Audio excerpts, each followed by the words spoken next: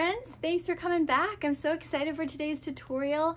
I mentioned in my last tutorial where I showed you how to make pants and shorts that I wanted to take that pattern and turn it into overalls because I've wanted to make crocheted overalls for so long now and I finally figured out a pattern to do it. It only took me I believe a day and a half, two days to make these. It was so fun and very, very simple. Beginner can easily do it, but I, I made shorts. Um, I wanted to do long pants, but I was like, eh, it's summer. It might be just nice to have some, some shorts. But if you were to make longer, like a pant, longer pants with these, I would recommend using a lighter weight yarn just so it's not so heavy. But basically what I did was I took the pants and shorts tutorial that I did, which you're gonna have to go back and watch if you haven't already. Um, to learn how to make the bottom portion and then I show you how to make the top part and turn it into overalls. Very simple. It sounds a little more complicated than it is, but it's very, very simple and I'll explain it all to you in just a couple seconds. And thank you guys so much for all of the love on the shorts and the pants tutorial. You guys seem to really like that. I'm already getting your tags of you guys like already have made stuff with them with that tutorial which is so cool and so fun. I just absolutely love seeing what you guys make. It makes me so happy. Thank you guys so much for watching and for coming back for this tutorial. I hope you absolutely love it. Don't forget to tag me and if you have any questions, just let me know in the comments and I will very much try to get to those. And I hope you love this and I hope you make them because they're so fun and so easy and very 70s vibes and I just, I love them. So I can't wait to see your guys' take on it with like colors and all of that. Okay, so let's get started. Okay, so this is where you're gonna go ahead and follow my crochet pants and shorts tutorial. It is the video right before this one. I will also have it pop up at the top right here. But there is only two things that I'm going to do differently in that tutorial for making this into the overalls. Um, so in the tutorial for the waistband, um, in the just for making the shorts, I do nine chains to begin plus one, but for the overalls, I'm doing seven chains in the beginning plus one instead of the nine plus one because we don't need it to be very thick. So I think that the seven plus one was perfect for me. And then for the increasing for the hips, I did only 18 rows in my previous tutorial, but for making it into overalls, I made it 22 rows because I wanted it to be pretty high-waisted. So I did 22 rows, all increasing for the hips. Every single row I increased for 22 rows, whereas in my previous video, I increased for 17 rows and then did one normal row of no increasing. But all of this will make a lot more sense when you go ahead and watch that video, so I will see you when you're done watching that video.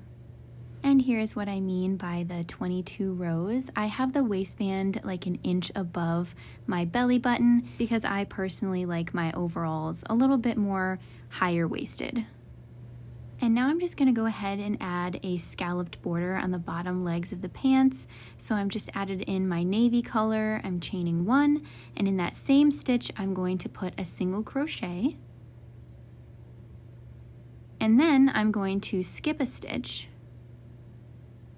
skip that one, go right into the next one with five double crochets. So I'm going to put five double crochets in that same stitch. Two, three, four, and five. And then I'm going to skip another stitch, go into the next with a single crochet to make my first scallop. Isn't it so cute? I just love adding a scalloped border. Now I'm going to go ahead and skip the next stitch, go into the next one. After that, with my five double crochets again, right in that same stitch.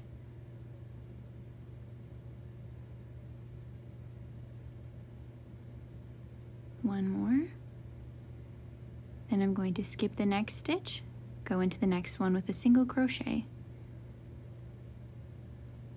Then I'm going to skip the next stitch again, go into the next with my five double crochets in the same stitch, and this pattern just completely repeats itself.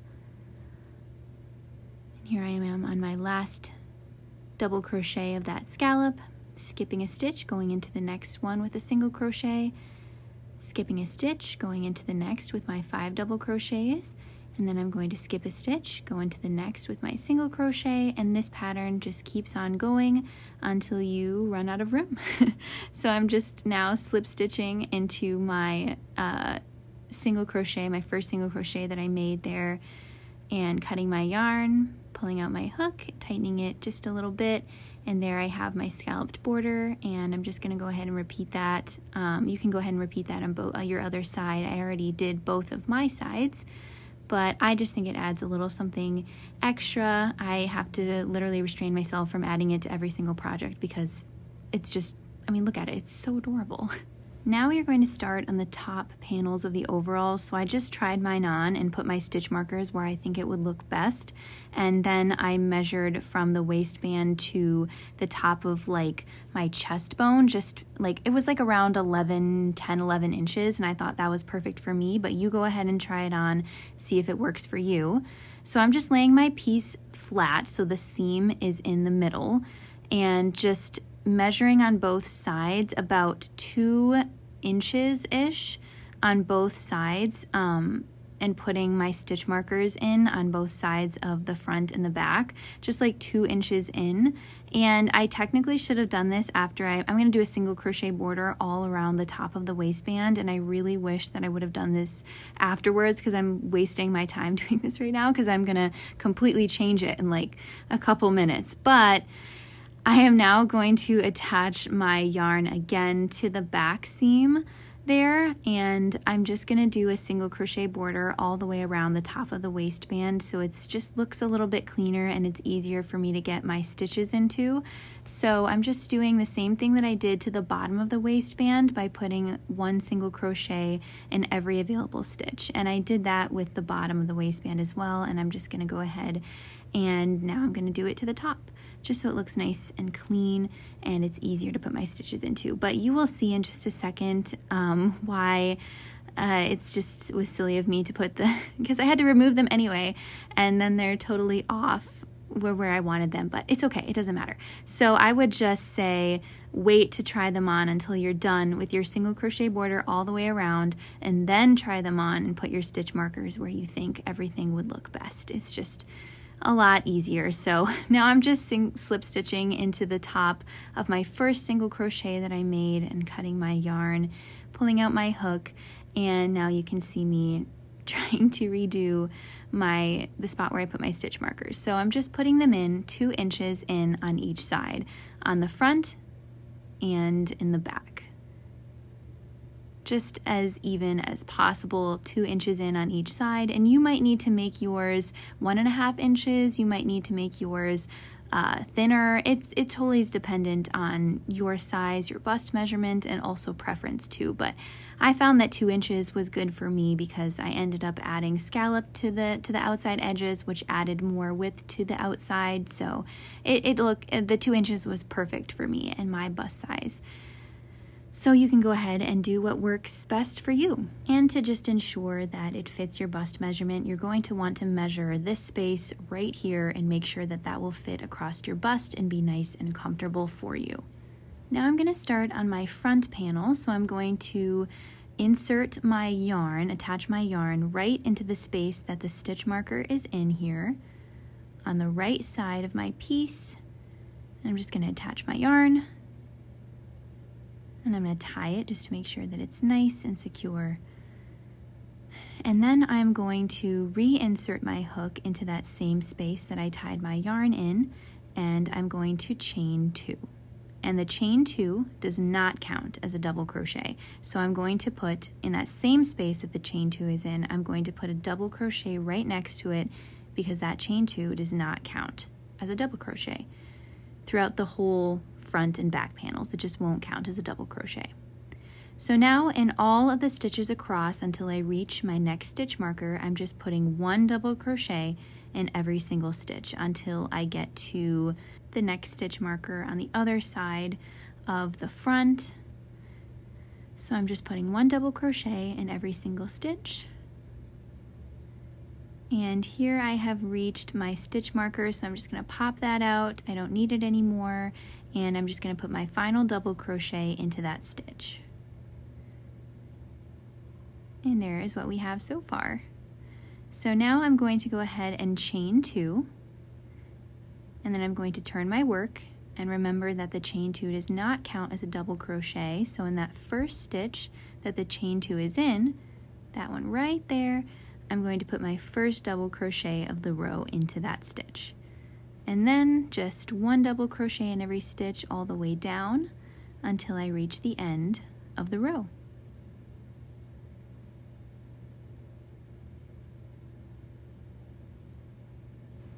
And then I'm just going to put my final double crochet in the top of that previous row's first double crochet and don't forget that the chain two does not count as a double crochet so do not put a double crochet into that stitch otherwise you're just going to be increasing and you don't want to do that. You want it to be nice and straight on both sides.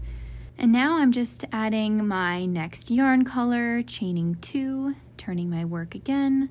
And then because that chain two does not count as a double crochet in that same stitch I'm putting a double crochet into it and then a double crochet all the way down just one in every stitch until I reach the end of the row. And then I'm just going to put my final double crochet of the row into the top of the previous row's first double crochet remembering not to put it in the top of the chain two. And then I'm going to chain two turn my work again put my first double crochet in that same chain two stitch because it doesn't count as a double crochet. And then again I'm just going to repeat the exact same process by putting one double crochet in every stitch and this is just repeating itself all the way until you reach the length that you want. And I'm gonna go till about I'm at about 10 or 11 inches.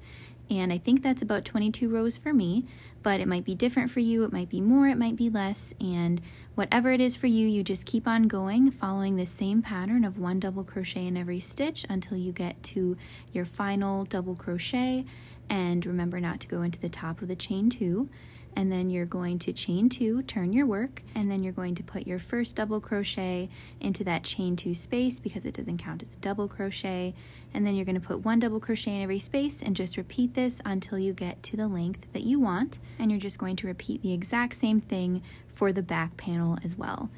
And here I have my front and back panels, and as you can see, the edges are not very straight and even, so I'm going to fix that by adding a single crochet border all the way around the outside uh, edges here. So I'm just going to attach my yarn on the side space right here. You can attach your yarn anywhere you want, but I just attach my yarn here. And I'm going to go ahead insert my hook, and then I'm going to chain one, and then I'm just going to put a single crochet in the top of these stitches. Now these are easy because there are already single crochets beneath us, so it's easy to put single crochets into those stitches. But then once we get to the side panels, it's just a little bit more tricky to find spaces to put them. But basically you just go in any available stitch that you see with any color that you want and put a single crochet in any available spot on the sides of your panels. The top of the panels are easy as well because we have double crochets, set double crochets to go into, but it's just a little bit trickier to find uh, spaces to go into when you are going on the sides. So we're just going to go up the sides and then on the top and then down the side and then just follow all the way around till we do the other side as well. So I'm just going up this uh, back panel here with one single crochet in every available stitch that I see. All the way up till we get to the top of this panel. Just one single crochet. Now I've reached the top so it's a lot easier to get a single crochet in so I'm just putting one single crochet in these stitches as well. And then I've reached my next side so I'm putting single crochets in these stitches as well just one single crochet. And then I'm getting now to the uh, side spaces here. And I'm just putting a single crochet in those stitches as well. And then we have our next panel we've made it to. So I'm just going to repeat the exact same thing by going up the side and then across the top and then down the side. And then we will be already reaching the other side where we have uh, where we started. So when we reach over there, we're just going to go ahead and slip stitch into the top of the uh, single crochet that we made. Then I'm going to chain one and I'm going to do a whole nother row of this of putting one single crochet in every stitch. But this row will be a lot easier because we have our our single crochets already made that we're doing right now. So it'll be a lot easier to just put one single crochet in every stitch because they're already there so I'm just finishing this up and I've got to my other side like I mentioned and I'm going to go ahead and do that another row of single crochets all the way around just because I think it looks a little bit better to have to have another row. It just looks more even and more clean. Um, also, this adds width to your uh, overalls. So if you're like, ah, they're a little bit skinny, you can go ahead and add another row if you need. Um, just customize it based on that. Um, but when I did the two rows of single crochet and then I'm going to add a scalloped border after this. So all of that also added width to make it nicely fit my bust. So now I'm just slip stitching into the first single crochet, chaining one, and then my yarn is already cut. I already cut it. Um, so I'm just going to chain one and then pull out my hook and tighten it. And then I have my single crochet border done. So now we're going to do the straps before we do the scalloped border. So on the far end of the right side of our panel, um, so I'm on the right side right now, so I'm just going to add uh, attach some yarn right here to this spot to the far to the far stitch the farthest stitch on the right side and then I'm going to insert my hook into that same stitch and I'm going to go ahead and chain 80 for the straps. You might want to chain more or less, whatever you need, but for me, I chained 80.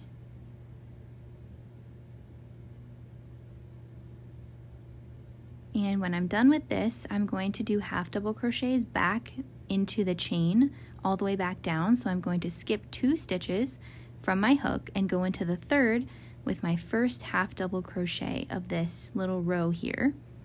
So I have my first half double crochet and then I'm going to go into the next stitch with my next half double crochet and then go into the next stitch with my next and then just one half double crochet and every single chain all the way down our chain of 80 or your chain of however many. Just one half double crochet in every single chain, all the way down. And that's what it's looking like so far. Okay, so now I've reached my final chain, so I'm just doing my final half double crochet. And now in that stitch directly next to the stitch that we attached our yarn into, into in the beginning, we are going to slip stitch our strap into that stitch. So just slip stitch there, chain one, cut your yarn, pull out your hook, and there you have your first strap done. So now I'm going to repeat the same thing on the other side, but I'm going to find the far left stitch and attach my yarn in the next stitch over. So I'll explain why in just a second, but I'm going to attach my yarn right in that stitch and chain 80 again. And then after I chain 80, I'm going to do my um, half double crochets back into the chains and I'm going to skip the first two chains, go into the third, with my first half double crochet and then a half double crochet all the way down the chains just like we did on the right side, uh, the right strap. And now when I'm done with that, I'm going to do my slip stitch right into that next stitch over, just like that. And doing it this way will make sure that both of the straps are facing the same way. And if you don't care if they're facing the same way, you can just attach it you know, in the farthest one right away, but I just like them both facing the same way. And then just go ahead and repeat the same process on the back side of your panels so you have four straps all together. So just repeat the same thing. And now I'm going to do the scalloped border all the way around. So I'm just attaching my yarn here right in this middle portion between the straps. And I'm just going to chain one,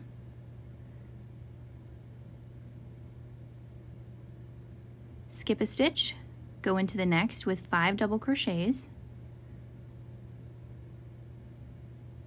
just like we did on the bottom part of our pants.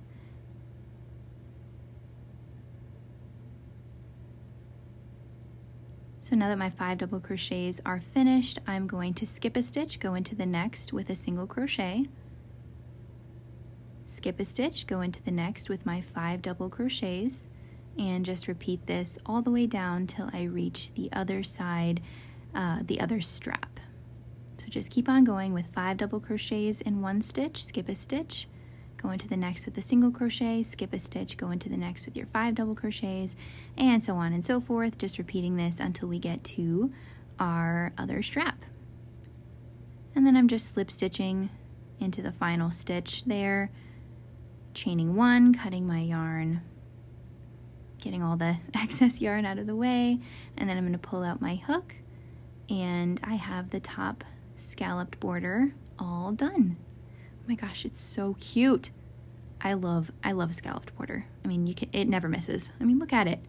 So now I'm going to go ahead and do the same thing all the way down and around and up, just like that. And then I already did my other side scalloped border on the top as well. So you go ahead and do that.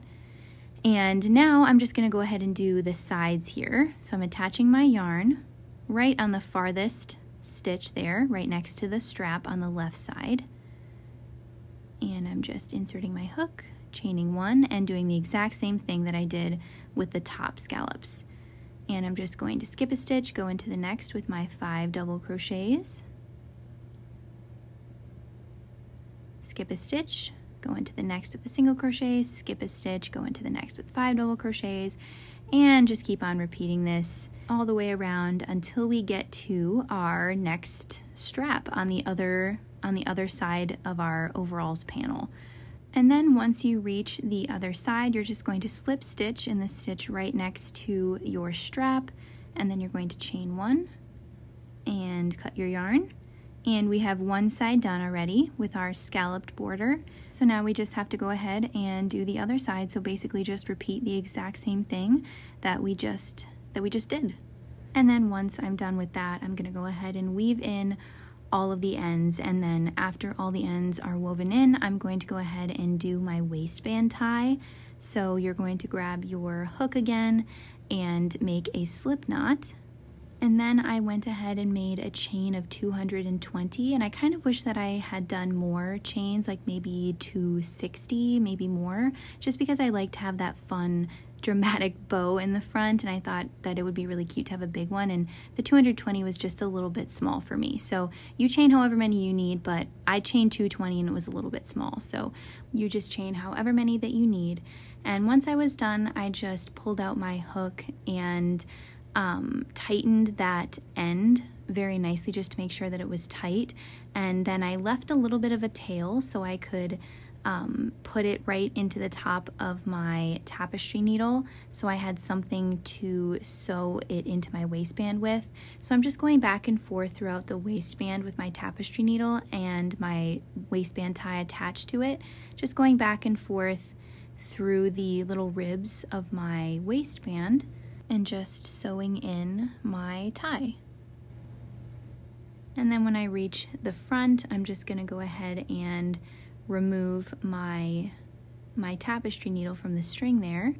And then I'm gonna go ahead and um, attach some little beads because I thought that would be fun, some wooden beads just to the ends, just for something fun, totally optional, you don't have to do it. But I'm just uh, stringing them on and then tying the bottom so they don't fall off and then I'm just gonna go ahead and tie, uh, cut that little tail at the end um, of my chain because I don't need it anymore. So I'm just gonna cut it relatively close to the end and then I'm just gonna repeat the same thing with attaching the bead on the other side just so they both are the same and I really just think it, it's just cute. I don't know, I love adding the little beads to the end. You don't have to, of course, if you don't want to, but I just think it looks so cute.